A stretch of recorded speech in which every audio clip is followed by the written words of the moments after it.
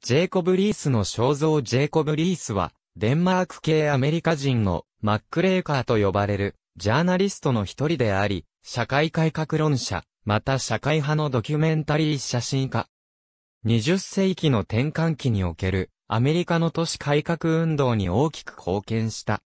社会改良主義運動を背景にジャーナリズムを通して、スラム街の状況改善を訴えたほか、網反写真やマグネシウムよるフラッシュ撮影などの新技術も積極的に活用した。ジェイコブ・リースは1849年、ユトランド半島の西側にあり、北海に面したデンマークの田舎町、リーベに生まれた。父は、ニールス・エドワード・リース、母は、キャロライナ・リースで15人兄弟の3人目の子供であった。母は熱心なルーテル派の信者であり、父はラテン語学校の教頭を務める傍ら、大家族を養うための収入を補うべく、司法週刊誌の編集に携わっていた。15人の中で20世紀まで生き延びることができたのは、リースと一人の姉妹、そして、里子の姪のみであった。父が教師であったので、学校に通うも、リースにとっては、あまり面白くなかった。しかし英語には興味を持っており、チャールズ・ディケンズの作品に惹かれたという。彼の父親も彼に、ディケンズの雑誌、オール・ザ・イヤー・アラウンドや、ジェームズ・フェニモア・クーパーの小説を読み、それを通して、英語力を改善するよう言い聞かせた。リースは幸せな子供時代を送ったが、一方で11歳の時、年の若い兄弟であるセオドアが溺死するという悲劇も経験した。彼は母親の嘆きを忘れることはなかったという。11歳から12歳の頃、彼は所持金を家をきれいにするならばという条件で荒れ果てた家に住む貧しいリーベの家族にすべて寄付した。彼らはそれを受け取って条件に応じたが、リースがこのことを母親に話すと、母親も手伝いに来た。父は、リースに、専門職について欲しいと思っていたが、強圧的な学校を嫌ったリースは、早々に大工の徒弟暴行に入った。16歳の時、エリザベス・ジョルツに恋をした。彼女はリースが見習いの大工として働いていた会社のオーナーの12歳になる養子であった。父親は彼の道義まぎした恋心を認めず、大工としての見習い期間を終えるためにリースを無理やりコペンハーゲンへと行かせた。4年間の修行の後、リースは、ギルドの資格を得て故郷に戻った。帰郷したその日のうちに、彼はエリザベスに求婚するが、父親から連れなく断られ、絶望した彼はできるだけ、彼女から離れるために、アメリカへの移住を決意した。また、渡米を決意したもう一つの理由としては、不景気な田舎町では定職に就けなかったということもあったが、このような経緯から1870年、21歳の春にリースはアメリカ合衆国へと渡った。時代背景リースがアメリカに移住した時期は、南北戦争終結から1890年頃までの金ピカ時代と呼ばれる時期にあたる。農業国から工業国へと転換したアメリカは、経済発展と都市の繁栄を経験する一方で、政界や産業界では買収や汚職が蔓延していた。ニューヨークでは1811年の都市計画の元マンハッタンがメトロポリスとして大きく発展した。1876年にはセントラルパークが開園し、1870年代にはグランドセントラル駅やメトロポリタン美術館、初期の摩天楼が次々に建設され、また、ロックフェラーやバンダービルト、カーネギー、モーガンといった実業家は巨大な邸宅を構えて、贅沢な生活を謳歌した。しかしその一方でニューヨークは、都市計画上の予想をはるかに超えて発展し、また世紀半ばから大規模な移民がやってきたことで、住宅問題は次第に無視できないものとなっていった。加えて、民主党の支持団体であるタマニーホールは、移民や貧民への事前行為と引き換えに、彼らを選挙の集票に利用し、裏組織と結んで姿勢を牛耳っていた。特に移民に関しては、19世紀には、初期のアメリカを形作った西欧諸国からの移民とは、違う移民、いわゆる新移民が急増した。例えばジャガイモ飢饉を逃れて渡米したアイルランド移民や1880年代以降の南欧、東欧移民、南北戦争後に北部へと流れ込んできた黒人、ゴールドラッシュでカリフォルニアに渡った後、ニューヨークへと移住してきた中国移民などである。彼らは英語の話せない非熟練労働者が多かった。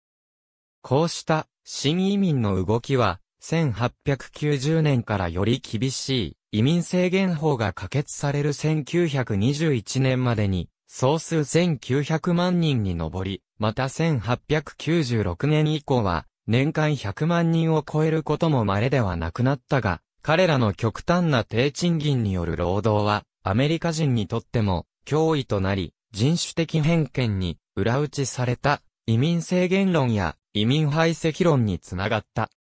さらに彼らは、急速に発展しつつあるアメリカに、安価な労働力を提供した一方、貧困や衛生、教育や犯罪といった新たな社会問題、都市問題を社会に提起する存在となっていった。そんな彼らが生活したのが、マンハッタン南部のローアーイーストサイドであった。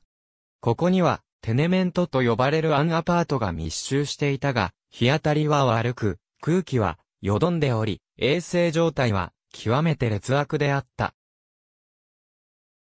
テネメントの数は1870年から1880年、新移民の流入とともに急増したが、これらの家賃はニューヨークの他の地域と比べるとはるかに割高であったため、借家人は下宿人を置き、一部屋に多くの人が生活した。そのため当時のニューヨークは世界一の人口中密地域になっていた。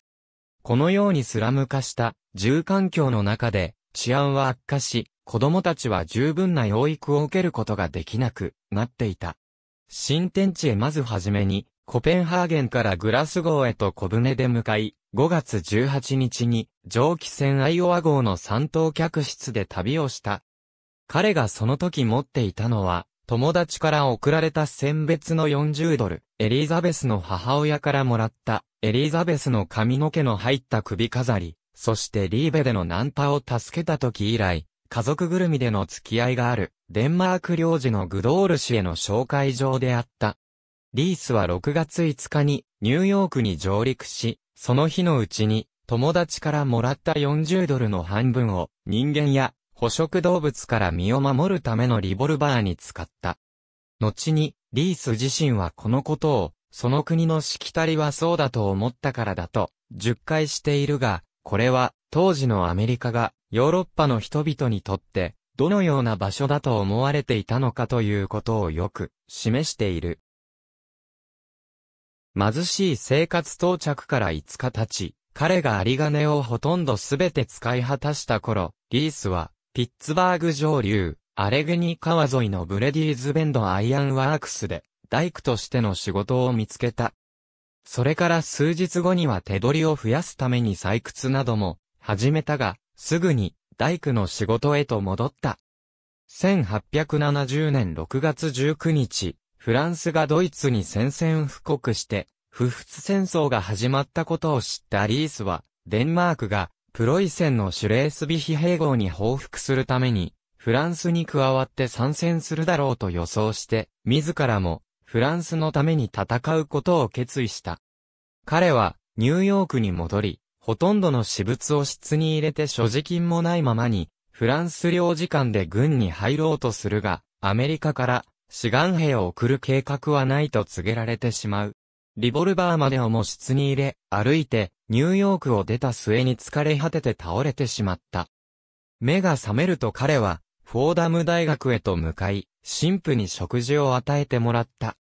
短期間の農場での仕事とマウントバーノンでの不定期の仕事の後にリースはニューヨークに戻ると、そこでザサン紙に載っていた新聞社が戦争への従軍記者を募集しているという内容を目にした。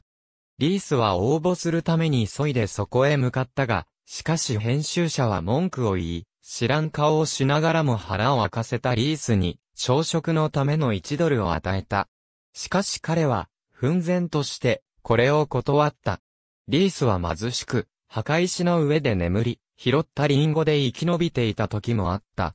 それでも、ニュージャージーのイーストブランズウィックにある、レンガ工場で仕事を見つけ、志願兵の一団が戦争に行くという話を聞きつけるまでの6週間はそこにいた。リースはこの話を聞くや、否やニューヨークへと戻ったものの、着くと同時に噂は確かに本当であったが、もう遅かったことを知った。彼は、フランス領事に申し立てたが追い払われてしまった。他にも様々な方法で従軍を試みたが、どれも成功しなかった。リースは、ニューヨークに戻っても、路上の寝場所を不老者と争い、デルモニコスの調理場の窓越しに、肉片のついた骨とパンを物乞いする生活であった。誰一人として、友人もいない巨大な都市でみすぼらしい身なりのままいる、自分に絶望し、10月のある夜、ノース側の堤防から身投げをしようとしたその時、リースを思いとどまらせたのは彼につきまとっていた一匹のブチ犬であった。その夜は気を取り直して、リースはひとまず警察の不老者収容施設で一晩を明かした。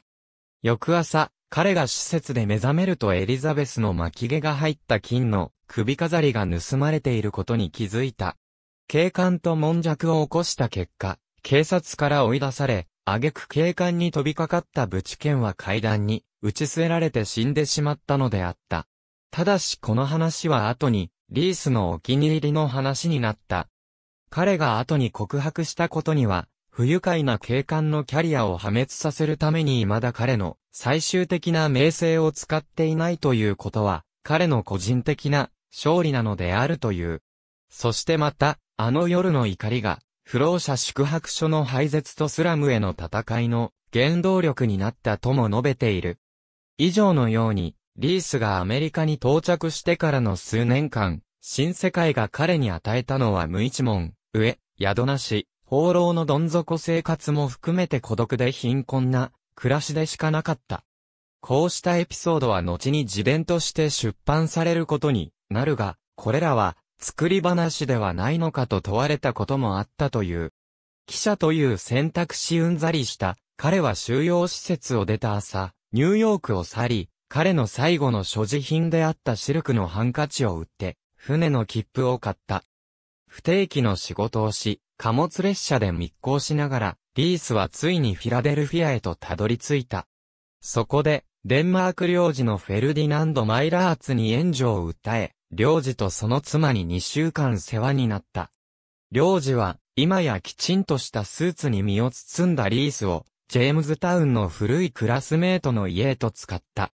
リースは、ニューヨーク州西部に位置する、この町のスカンディナビア人コミュニティの中で大工として働き、また様々な他の仕事もした。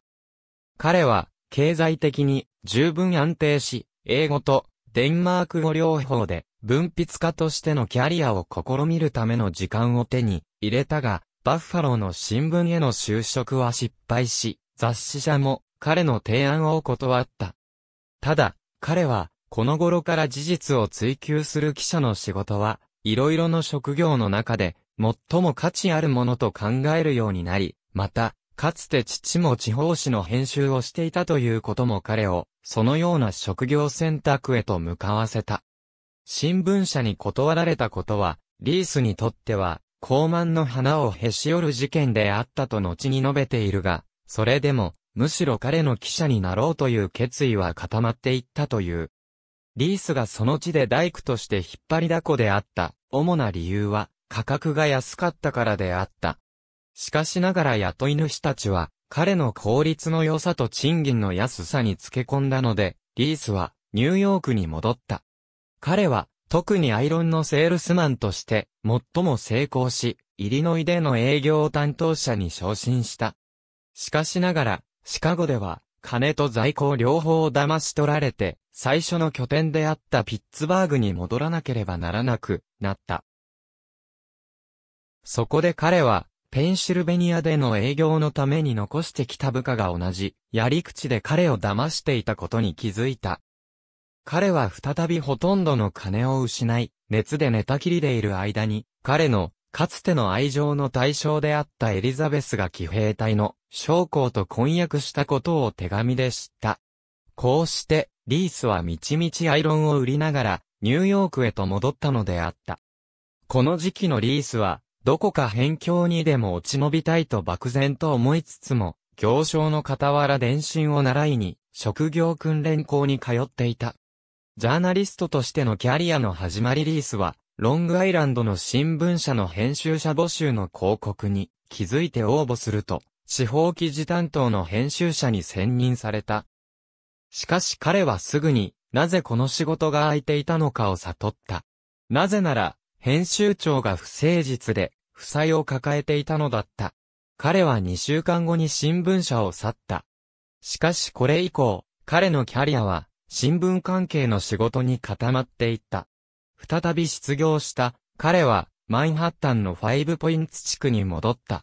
ある日、クーパーユニオンの外に、彼が座っていると、彼がかつて電報を学んだ、この学校の校長がたまたま彼に気づいた。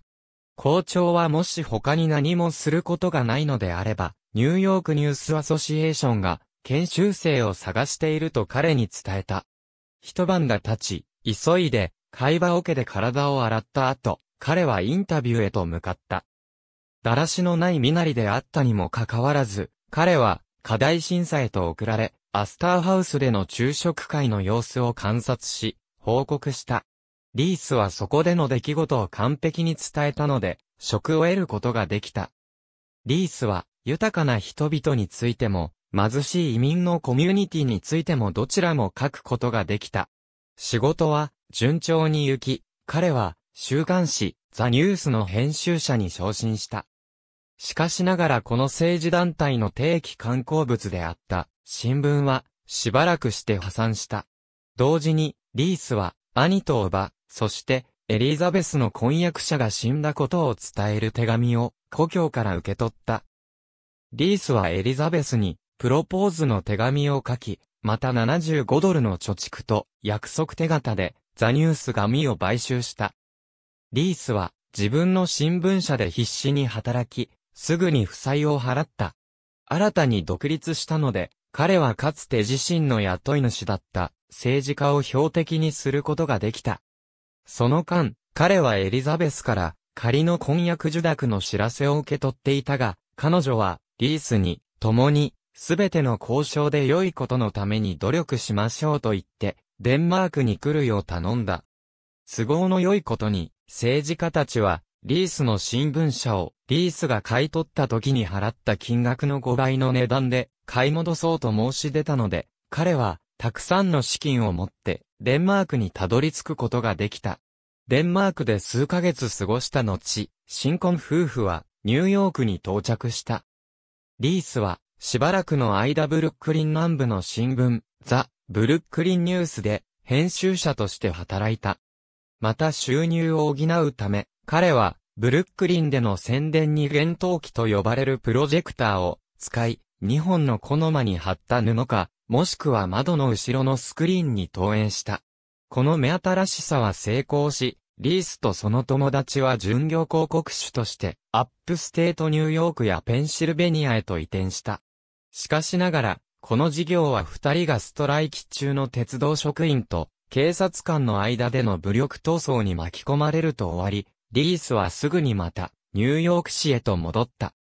警察担当記者時代新聞社でのキャリアがうまくいかない中、隣人でニューヨークトリビューン紙の地方記事編集者を務めていた人がいたので、なんとか使ってもらえることになった。1877年のことであった。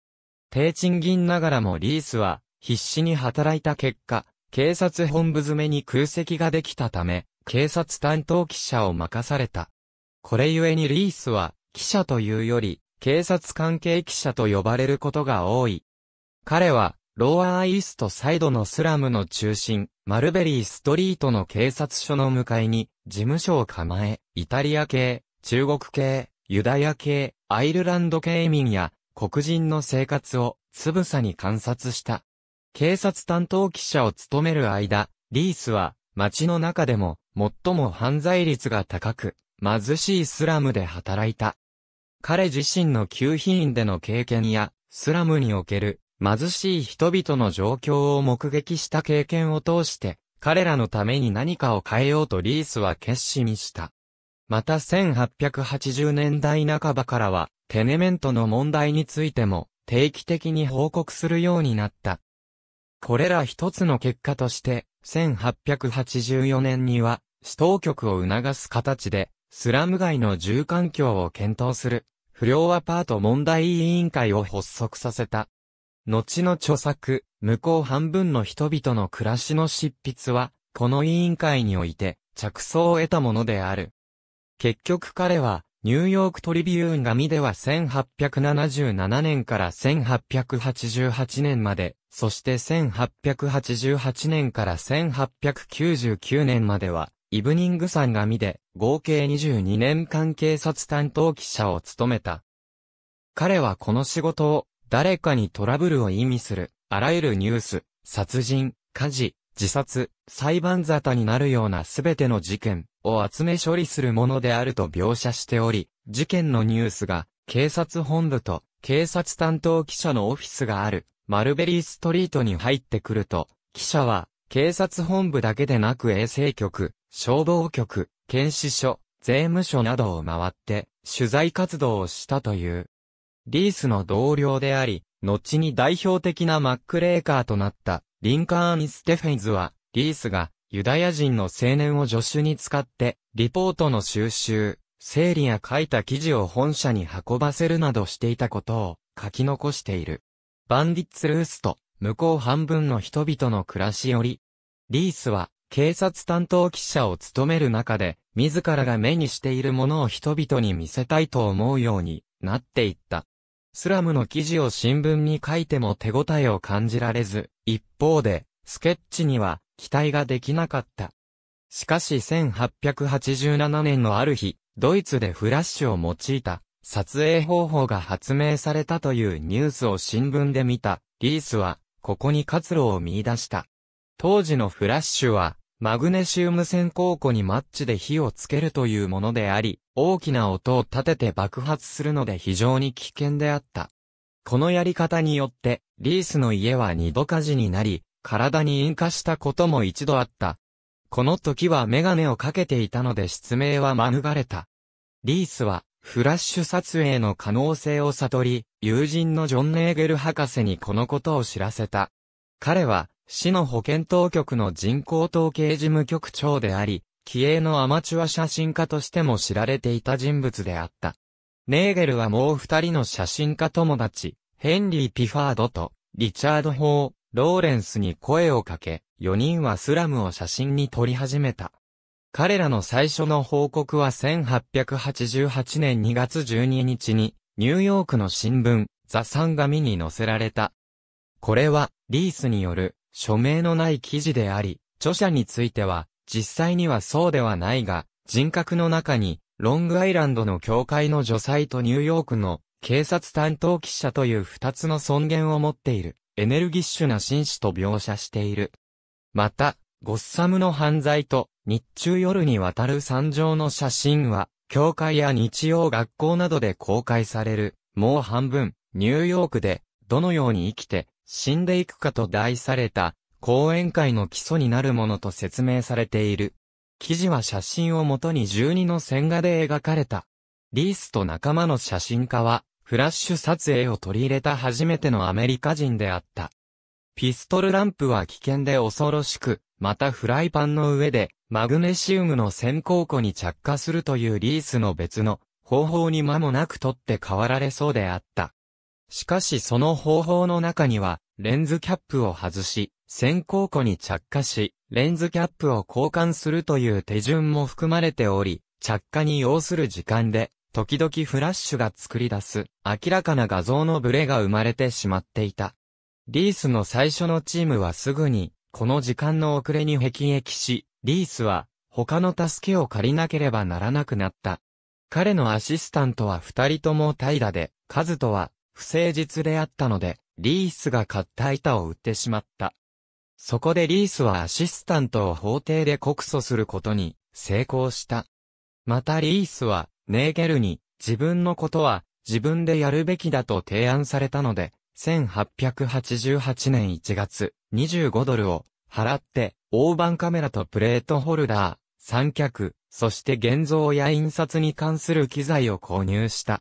彼は実践のために、ハート島のポッターズフィールドに機材を持っていき、2枚、撮った。結果はひどく露出角度であったものの、成功に終わった。1870年代から1880年代にかけてのハンドカメラや甲板ネガの発明は、リースのようなアマチュアの撮影を可能にしたのであった。しかしリースにはあくまで自分は写真家ではなく、ジャーナリストであるという自覚があり、写真はあくまで彼が書いた事実を裏付ける手段でしかなかったため、彼にとってはテクストの方が重要であった。したがって、写真家としては二流だったというのが彼の口癖であったし、1898年には写真撮影をやめてしまう。このため、リースによるものとされている写真のうち、紛れもなく、リース本人が撮った写真は、全体の半分強である。リースは提供された写真を保管しており、それをイラストエッセイとして雑誌に投稿しようとしていた。しかし、ハーパーズニューマンスリーの編集者に、写真は好きだが、文章は好きではないと言われ、違う作家を見つけると言われたとき、リースは雑誌社に失望し、公衆に直接訴えることに興味を持った。そこで、彼は、幻灯用のガラススライド板を作り、ニューヨーク市内の教会を回って、スラムの実態に関する講演会を開いた。しかしこれは簡単なことではなかった。教会が会場だということは決まっていたが、リース自身の教会を含む、いくつかの教会は、反対し、講演が、礼拝者の感情を害するか、もしくは裕福で権力のある地主の感情を損なうことを懸念した。しかしながら、市宣教協会のアドルフ・シャフラーと、ジョサイア・ストロングがリースの講演会のスポンサーとして、ブロードウェイタバナクル協会を手配した。資金が足りなかったので、保健当局の事務官であった W.L. クレイグとも手を組んだ。リースとクレイグの幻灯機を用いた公演はほとんど金にならなかった。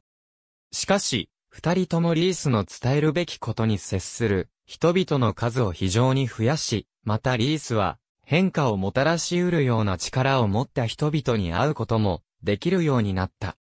特にチャールズ・ヘンリー・パークハーストやスクリブナーズマガジンの編集者といった人々であり、後者はリースに写真付き記事の掲載を申し出た。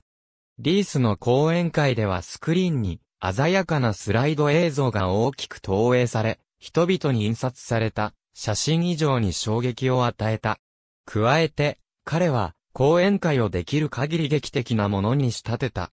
街道の暗闇の中で、スポットライトの下、リースは2時間かけて講演しながら100枚のスライドを上演した。スライドは当時最新の投影機で奥行きと臨場感のあるステレオ映像となり、ディゾルブ装置で板が切り替えられた。演出の上ではコルネットやゴスペルなどの音楽を用いたほか、聖書や福音書の一節の朗読や祈祷、またスライドにキリストの絵を挿入することもあったという。次第に全国各地から相次いで講演依頼が届くようになり、1893年には中西部を回る大規模な講演旅行を行った。1900年には初めて西海岸に足を伸ばし、亡くなる前年の1913年までスライドを用いた講演会を毎年こなしていた。後年は映画の登場で人気に陰りが差していたものの、書籍自体に勝る影響力を持っていたことが指摘されている。向こう半分の人々の暮らし1890年の版本来リースは、スラム街での十数年間にわたる取材の中で撮影した写真集を出版するつもりであった。しかしどの雑誌社も関心を示さなかったところ、スクリブナーズマガジンの編集者が興味を示したため、雑誌記事、向こう半分の人々の暮らし、ニューヨークのテネメントの実態調査は1889年のクリスマスに刊行された。当時ヘンリー・ジョージの単一税制を支持し、ジョージの理論や分析を学んでいたリースは、この機会を、ジョージ主義的な情熱で地主を非難するのに使った。記事の中では21枚の挿絵が用いられたが、ほとんどがリースらが撮影した写真をもとに5人の挿絵画家によって木版画に写し替えられたものであった。挿絵が掲載された理由としては、当時のハーフトーン技術がまだ確立しておらず、不鮮明な上にコストがかかったことに加え、まだ絵画に比べ写真の芸術的価値が低かったことが挙げられる。出版社側としても、撮影技術と構図の未熟な写真を掲載するより、手慣れて、センスのある、挿絵画家による、修正版を好んだ。このため自分の文章と、全く関係ない絵が挿入されていたことに、リースは少なからず、苛立ちを覚えていたとみられる。リースが、リースが保管していた雑誌掲載記事には、記事の中にこの絵がこっそり入れられた。これは、私のではないし、何の関係もないという殴り書きが残されている。本の中では、イタリア人街やユダヤ人街、チャイナタウン、人種混合地帯、ドヤ街などスラムを形成する様々な地区、住宅の模様、住民の悲惨な生活と労働を描いている。加えて、人口密度や乳幼児死亡率、少年非行率などの一般的な記述とともに、様々な事例や具体的な体験談を織り交ぜて、貧しい人々の生活を記している。翌1890年11月に、書籍、向こう半分の人々の暮らしは出版された。大幅に加筆されて25章からなる本文に21枚の挿絵、そして新たに17枚のハーフトーン印刷の写真と、テネメントの平面図4枚と超過図、統計資料、関東紙と序文が付け加えられたものであった。ハーフトーン印刷を用いた写真図版17枚、写真から起こされた規範が19枚からなっており、当時としてはハーフトーン印刷を全面的に取り入れた最初の本であった。なお新聞におけるハーフトーン印刷の導入は1880年だとする説が一般的であるが、それ以前は写真と文章を同時に印刷することはできなかった。加えて、ハーフトーン印刷の普及には高速で性能の良い印刷機械の登場を待たねばならなかった。ニューヨークトリビューンでは1897年からハーフトーン印刷を常用するようになったが、大多数の新聞社では線画突版を並行して使っていた。それゆえに、ハーフトーン技術が複製可能な写真の潜在能力を爆発させ、豊穣な20世紀の映像文化を生み出す上で、非常に重要なものであったことを、ビッキー・ゴールドバーグは指摘している。向こう半分の人々の暮らしは、順調に売れ、よく引用された。いくつかの書評ではあまりに単純化し、誇張しすぎていると批判されたが、概して好評であった。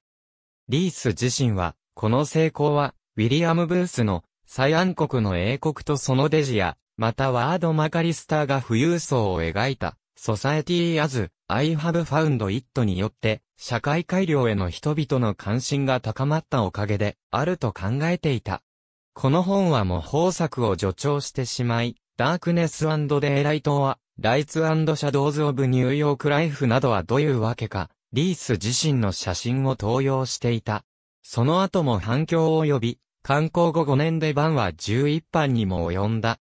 本書の訳を出版した千葉菊江は、後書きにて、フォトジャーナリズムという新しい手法を通して、社会的に大きな役割を果たした作品であると同時に、19世紀末のニューヨークの移民の暮らしを文章と写真で記録した作品として今なお重要な意味を持つと言える、と評価している。貧民の子供たち続編は1892年の貧民の子供たちであり、リースは特に出会った子供たちについて書いた。これは、向こう半分の人々の暮らしと全く同じ立場に立っており、同じ内容を含んでいる。現状を改善するための事実を集めることが目的であって、リース自身が二つの本は一つであり、この本を刊行するにあたって何も付け加えることはないと述べている。したがって本書には、イタリア人やユダヤ人を中心に、スラム街の子供の様々な生活の悲惨さを記録している。統計などの一般的な記述もある一方、向こう半分の人々の暮らしに比べると、具体的な事例に即した記述が多く、調査的な記録となっている。実際、当時の批評家たちも、第一作ほどの人気を博士はしなかったものの、本書はそれ以上に論拠とする諸事実を豊富に含んでいると高く評価していた。伊垣昌司は本書について、向こう半分の人々の暮らしを子供に集中したもので、ある一方で、この問題展開自体は、ある程度予測しうるものであったと分析している。なぜなら、リースは、第一作の後半ですでに子供の問題に集中しており、子供がスラムの悪環境にさらされている問題性を大きく指摘しているからであるという。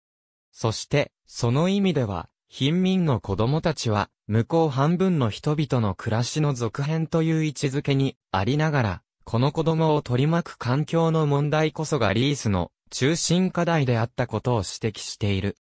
したがって、本書の後半では、ますます明確に児童に対する教育と福祉活動の状況と評価を経て、実践的課題を提示していることを述べている。自伝、あるアメリカ人の成り立ち1901年、セオドア・ルーズベルトが大統領になった1ヶ月後に、自伝、あるアメリカ人の成り立ちが出版された。リース夫妻の出会いの場面に始まり、貧しい移民の若者でありながら、苦労の末に成功し、恋を成就させて5人の子の父親となって、ホワイトハウスに出入りするに至る成功物語は、アメリカ人の心をつかみ、商業的に成功した。夫妻は一躍全国的な有名人となり、リースの著作の中でも、向こう半分の人々の暮らしの次に有名な作品となった。向こう半分の人々の暮らしや、その他の本も批評家から賞賛を受けていた一方、自伝に関しては賛否両論があった。ニューヨークタイムズのある批評家は、ごく身近で懇意な友人たちのために書かれた虚栄の作品だと一蹴した。彼は、リースの粘り強い根性と断固とした楽観性を高く評価していたが、棟梁の虚栄とうぬぼれでできた、ほとんど巨大なエゴイズムが、著者の主たる特性であると払いのけた。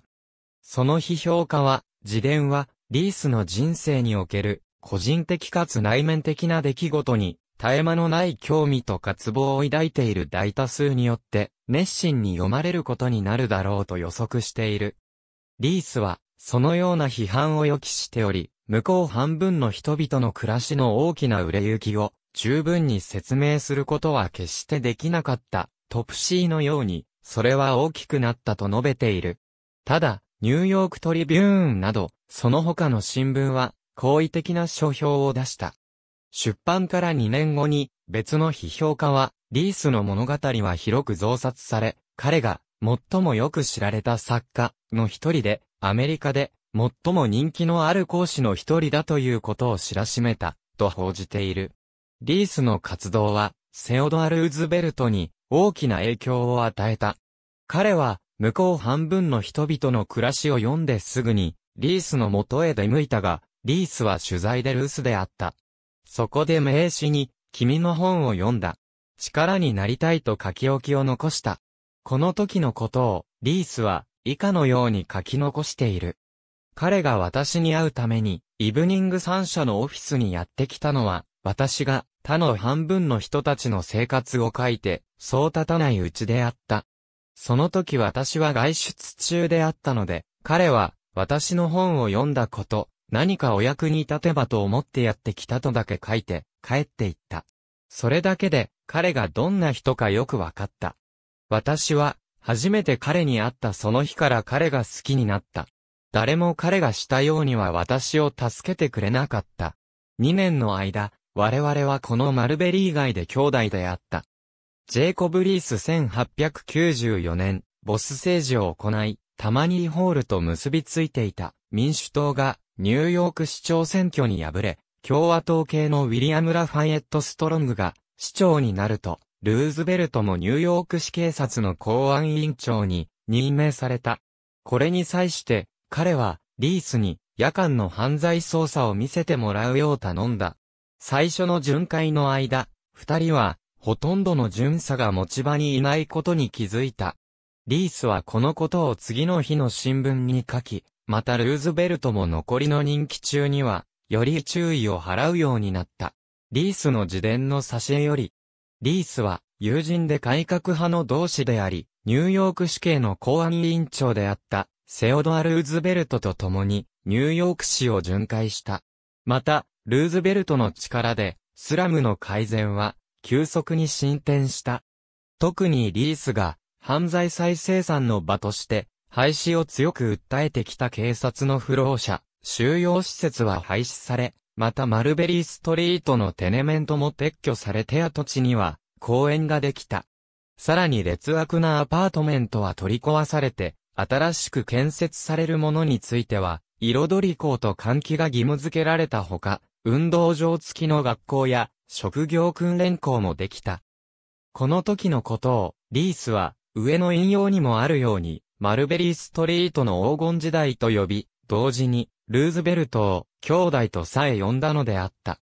一方、口述するようにリースは、フランクリン的な勤労倫理観に立ち、不老者の問題は怠惰の問題であると考えていた。ために不老者収容施設の廃絶に努めていたという側面があり、この結果これを構成の機会とした者もいたものの、ニューヨークを楽園と思っていた多くの不老者は、シカゴに移ることになった。リースの数ある功績の中でも特筆されるのは、1891年に写真を使ってこれらの蔓延を未然に防いだことであった。マンハッタンのクロトン給水所から供給される水に下水による汚染の兆候があることを突き止めたリースは新聞に警告記事を書き、一週間かけて、クロトン給水所に流れ込む川を遡りながら、排水がニューヨーク市の水源に垂れ流されている様子をカメラに収めた。この記事と写真によって、市の衛生検査官は、調査を促され、事態の深刻さを把握することができた。1891年8月21日のニューヨークイブニングサン紙に掲載された彼の5つのコラムからなる記事、私たちが飲んでいるものでは6枚の写真が掲載され、この記事の結果ニューヨーク市は、ニュークロトン貯水池の一帯を買うことになり、ニューヨーク市民たちは、これらの流行から免れたのであった。また、リースは、マルベリーストリートとバクスターストリートが屈曲する地点の間に位置するマルベリーベンド、及びその南端に接するファイブポインツ地区の改善にも力を注いだ。この地区はかつて、コレクトポンドと呼ばれる水域であったにもかかわらず、生活排水による汚染によって1813年に埋め立てられていた。しかし干拓が不十分な湿地帯であったために地盤が沈下し、また湿度が高く衛生状態も悪かったため、貧しい移民や黒人の住むスラムとなった。1842年にこのスラムを訪れたチャールズ・ディケンズはアメリカ紀行の中でぐらぐら揺れる板の上を踏み外さないように気をつけながら真っ暗な階段を登り、この狼の巣窟の中へ私と一緒に手探りで入ってみるがいい。一筋の光も、一そよぎの風も入ってきそうにない。この悪徳と悲惨の世界は他に何も見せるものなど、ないと言わんばかりだ。強盗や殺人でその名を知られた見るも恐ろしい、安アパート。忌まわしい、崩れかかった、大敗したすべてのものがここにはあると描写している。リースは、このような状態を写真と共に記事にして衛生局に訴えかけたので、1895年にはスラムが取り払われ、1897年には跡地にマルベリーベンドパークが設置された。リースは6月15日に行われた開園の式典に呼ばれてはいなかったが、それでもやはり、リンカーン・ステフェンズらと連れ立って出席した。最後の演説で再開発を行った事務官は、公園はリースの功績であると認め、人々にジェイコブ・リース、万歳、と参照するように言った。その他の公園も作られると、同様にリースは一般に功績を認められた。このように、スラムの生活状況や衛生状況を暴露し続けたため、1876年に初めて施行されたニューヨーク市共同住宅法が1901年に改正された。改正は完全なものではなかったものの、状況改善の出発点にはなり得るものであった。当時、リンカーン・ステフェンズも一般市民の良心を目覚めさせ、調査委員会を設置して、貧困層の生活改善に向けて、向こう10年間、建設的に戦うきっかけになったと評価している。さらに1905年には、都市再建運動を促進するために、事前出版委員会に加わった。そこでは、雑誌、事前と民衆の特集として、本格的な社会調査を行い、観光を企画した。この編集には、エドワード・トーマス・ディバインや、ポール・ケロッグなどが携わっていたが、この二人は、福祉問題の調査や研究に専念していたことが、リースの関心を引き、信仰を結ぶに至ったという。また、1909年に、ルーズベルトが招集した、保護の必要な子供に関する、ホワイトハウス会議には、児童福祉の権威と並んでリースも出席した。リースは1899年までイブニングサン紙で警察担当記者として働いた。退職後も著作や講演に励み、1912年の大統領選挙の際は長年の友人であるセオドア・ルーズベルトを支援した。妻エリザベスが亡くなると、リースは1907年に新しい妻、メアリー・フィリップスと再婚し、共に、マサチューセッツ州のバレの農場に移住した。リースは1914年5月26日にその農場で死亡した。彼の2番目の妻は1967年まで生き、農場での仕事を続けながら、ウォール街で働き、コロンビア大学で教鞭をとった。リースの死に際して、生涯の友人であったセオドア・ルーズベルトは、以下のような文章を捧げている。ただ、項の関係からだけで、ジェイコブ・リースについて書くことは難しい。彼は、私の最も信頼し最も親密な友達の一人であった。リーズは、かつて、会った時から、ずっと兄弟であったと、私のことを言ってくれたが、この事実を、私はこの上もなく誇りに思っている。私は、計り知れず、彼を称賛し尊敬するばかりでなく、あたかも私自身の家族の一員であるかのように、心から彼を愛し、彼の死を悼むものである。セオドア・ルーズベルト彼の娘、クララシー・リースは、ウィリアム・クラレンス・フィスク博士と1900年に結婚した。息子のジョン・リースは、ギフォード・ピン賞が創設したアメリカ合衆国森林局に1907年から1913年まで勤務し、ユタ、カリフォルニア、オレゴンの国有林でレンジャーや監督官を務めた。彼は1937年に森林局に勤務していた時代の記録を書籍、レンジャートレイルズとして発表した。もう一人の息子、エドワード・ブリースは1918年の第一次世界大戦の終わり頃、コペンハーゲンのアメリカ広報局長に迎えられ、また反ユダヤ主義にも対抗した。三人目の息子、ロジャー・ウィリアムス・リースは、父同様、記者及び活動家であった。リースの写真の価値が再発見されたのは、死後30年近く経った1942年、アレグザンダー・アランドが古本屋でリースの写真を見て遺族に連絡した時であった。アランドは自身も移民であり、また移民をテーマとする写真家であった。実際、彼がバージン諸島で撮った荒廃した島民の家の写真は、ニューヨークのタブロイド紙 PM 紙に掲載され、結果的に連邦議会がバージン諸島の住宅整備予算を倍増させることとなった。当時は折しもドキュメンタリー写真が重視されていた時代であった。こうして1947年にアランドの手によって、かつてリースが住んでいたロングアイランドの家の屋根裏から写真原版や講演会で使われていたスライドが発見され、ニューヨーク市立博物館に寄贈された後、同年に展覧会が開催された。また2000年代には、同館のキュレーター、ボニー・ヨッケルソンが保管されていた写真資料を詳細に調査研究し、その成果をもとに2016年には、同館とアメリカ議会図書館で回顧展が開催された。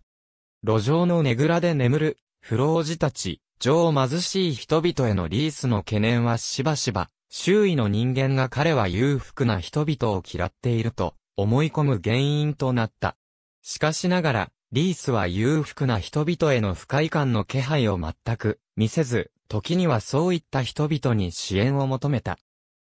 ただ、滅多に政党政治に関わることはなかったが、それでも十分リースはタマニーホールの腐敗に愛想を尽かしており、民主党支持者から共和党支持者になった。米西戦争直前の時期は、リースにとって難しい時期であった。彼はもっぱら言われているところのスペイン人のキューバ人に対する残虐行為への抗議は単にアメリカの領土拡張論に口実を与えるための策略なのではないかということを疑った自由主義者に接近された。ただリースはおそらく友人のセオドア・ルーズベルトの気分を害さないようにするため、高額の報酬での調査依頼を断り、国家主義的な声明を出した。ジェイコブ・リースはジャーナリストの中でも、マックレーカーというジャンルに位置するとみなされている。マックレーキングジャーナリズムもしくは、マックレーカーとは、第一次世界大戦前夜のアメリカにおいて、政界や経済界の腐敗や社会問題を詳細かつ正確に伝える報道姿勢、またはそうした報道姿勢を取るジャーナリストのことであり、本来はセオドア・ルーズベルトが1906年4月14日の演説において、ジョン・バニアンの天路歴帝になぞらえて、当時のジャーナリストを批判した別称であったが、今日では、好意的な意味で用いられることが多い。実際、例えば、ポーリーン・ブイ・ヤングは、マック・レーカーとして、リンカーン・ステフェンズや、アプトン・シンクレアと共に、リースの名を挙げており、また、向こう半分の人々の暮らしがマックレーキング、ジャーナリズムの先駆けであるとする見方もある。伊垣昌司は、資本主義社会の進展とともに、体制批判と改良への志向は19世紀半ばに現れていたことを指摘した上で、1880年代に、ヘンリー・ジョージの進歩と貧困や1894年に、マックレーキングの先駆とされるヘンリー・ロイドの共和制に反する富と比較しても、それより早く近代都市の貧困を告発していた、リースこそが、マックレーカーの先駆であるかもしれない、と述べている。加えて、伊垣は特に社会調査との関連でリースを分析している。リースと同時期に、イギリスでは、社会調査の創始者と評される、チャールス・ブースが、ロンドン調査を行っていたが、彼は、データの数量化を図ることで客観性に徹したのに、対し、リースの手段は、冷静な報告書というよりは、訴えの書として受け止められるのが適当であり、彼の主観的、感情的な手法に基づく記述は、調査とは、程遠い内容を示すものであるということができるかもしれないと述べている。ただ一方で統計学の発達していたヨーロッパにおいて社会科学者でもあったブースと、新大陸で何らアカデミックな訓練を受けなかった、リースを比較することは適当でなく、リースはあくまで新聞記者としての取材経験から、記述し、体で事実にぶつかり、全身全霊でそれを受け止めたのであるとも分析している。また、フォトジャーナリズムの観点から、ビッキー・ゴールドバーグはリースがジャーナリストとして写真に力を与えられた理由について彼自身の持っていたものと歴史の流れの二つの観点から分析している。リース自身が持っていたのは行動力や才覚、スラム改善にかける情熱と献身、ジャーナリストとしての技量を持っていたことに加え、市民の耳を持ち、印刷メディアと写真の両方を利用する方法も心得ていたことを挙げている。一方で歴史の流れとしては、社会改革運動や公衆衛生運動、移民に対する中産階級の不安、取材対象そのものの目新しさ、セオドア・ルーズベルトが死家の養殖に就いたこと、写真技術が発展したこと、そしてリースが幅広い読者層を持つ新聞社にいたことなどを挙げている。このような要素が合わさって、リースの写真には劇的な力が与えられたことを、ゴールドバーグは指摘している。一方で、リースによる様々な民族集団への描写は時に手厳しかった。一部の歴史家によれば、リースは書籍の中でユダヤ人は神経質で詮索好きであり、東洋人は邪悪であり、イタリア人は不潔だと述べている。アラン・トラクテンバーグは、リースが危険なテクニックを駆使して、ローアーイーストサイドのスラム世界の住人たちの悲惨な生活を撮影していた点で、彼の写真は隠蔽された社会的事実をセンセーショナルに暴露するものであったということができると述べている。加えて、同時代の写真家、アルフレッド・スティーグリッツとの比較という点からも論じている。両者ともに、ハーフトーン印刷による写真出版物を通して広く観客を得ていたが、スティーグリッツがアマチュア写真家向けの専門誌と一般誌の両方で都市景観を美しく美しく、ピクチュアレスクに撮る、カメラ技法の重要性を絶えず強調していたのに対し、リースは一般紙の記事や書物が対象であった。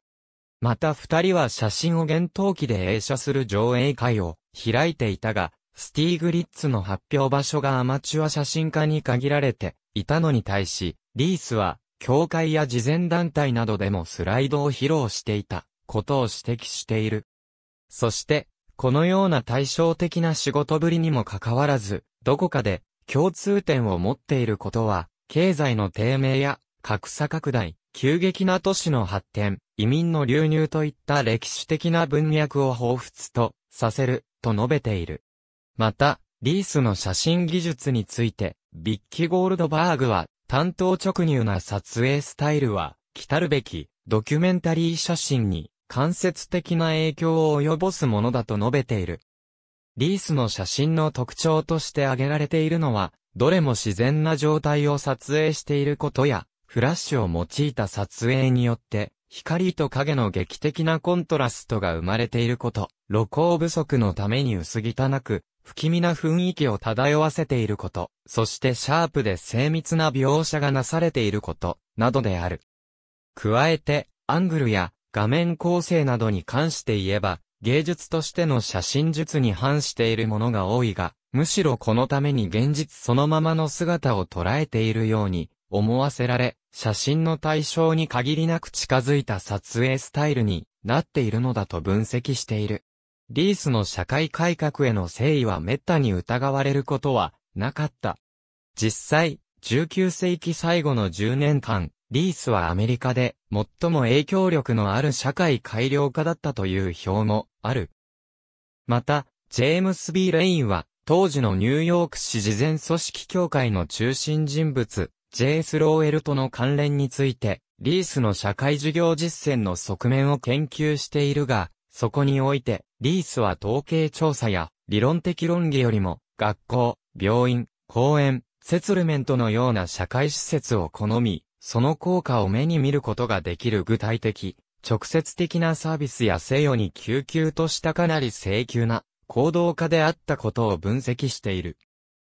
ただし一方で、伊垣は、彼が何よりも行動家であったことは認めながらも、著書の中では、調査的思考に傾斜しており、自分の役割を実践家たちがそれを基礎として進む、事実をデモンストレートするのみであると語っていることから、リースは、社会事業実践に関心を持ち、自らも行動するが、あくまで先住者ではなく、自らをリポーターと自覚して、実態の調査と事実の収集、報告に力を注いでいたことを指摘し、しかし彼のデータは人々を具体的な実践に向ける熱いデータであったと評価している。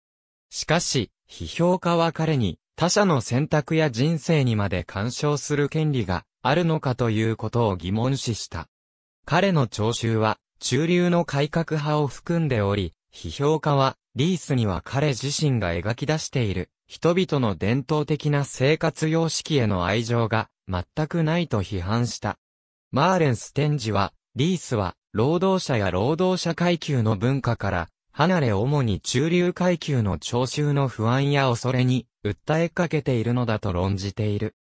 またトム・スーインティは、リースは仲間である、移民の多くに非常にもどかしく感じており、彼らを早まって判断し、同化できなかった人々を非難した。そして軽蔑を表現することをはばからなかったと述べている。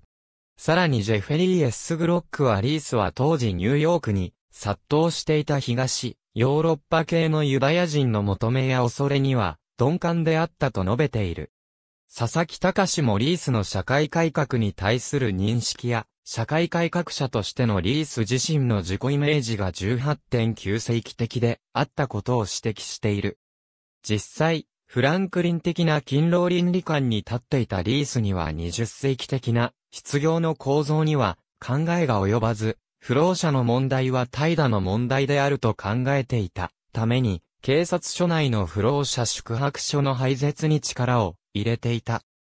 加えて、リバタリアンの経済学者、トーマス・ソーエルによれば、リースの頃の移民は一般的に家族のアメリカ移住を支えるために収入の半分以上を節約することができる、計画的かつ短期的な手段としてなら、常についにはより快適な住まいに移り住もうという意思はあったものの、狭苦しく不快な環境で生活することは構わないと思っていたという。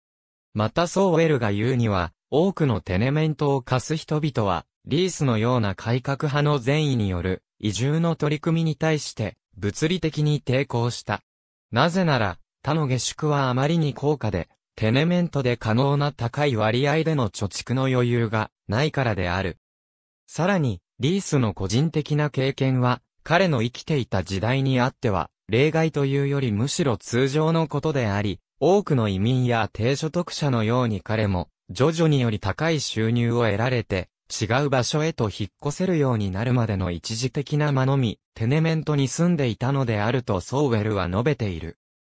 デンマークリーベにあるリースの石像米国成功会で、リースは、ウォルター・ラウシェンブッシュやワシントン・グラドンらと共に、劣勢され、7月2日が教会歴における祝日となっている。書籍論文書籍論文。ありがとうございます。